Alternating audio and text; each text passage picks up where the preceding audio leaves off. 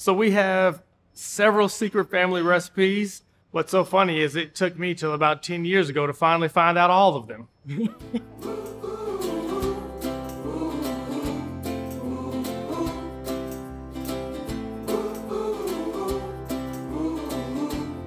I am co-owner and president of Smokey John's Barbecue, and I do everything from fry cook to cut meat. Smokey John's was birthed in 1976. My dad, John Reaves, actually was in real estate and mortgage banking, and one of the things he would do when he closed a loan, he would actually give people a turkey. And it was kind of funny because he started getting more calls for turkeys than he did for loans. At one point, he had over a hundred turkeys at his house. A friend of his came over and he said, John, you need to open a restaurant. So six months later, he opened a restaurant and we've been doing it now for over 44 years. Our family's been in the restaurant business for a long time, so I decided, hey, you know what? Might as well learn more about the industry, so I decided to study hotel restaurant management.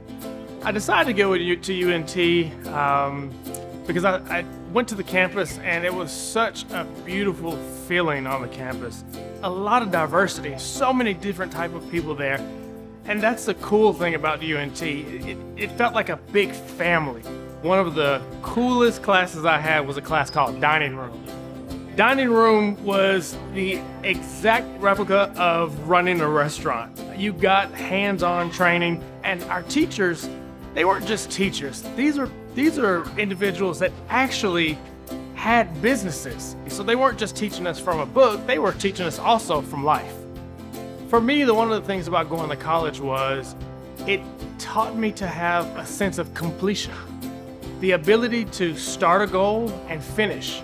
UNT gave me the, the, the tools that I needed in hotel restaurant uh, management, from cost controls to dining room to even micro food biology.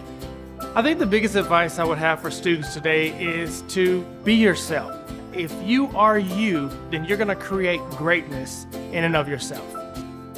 We do like with my grandmother, when the door opened, everyone was welcome and everyone was invited to get a plate. And that's what we that's what we do, and that's what I learned at UNT.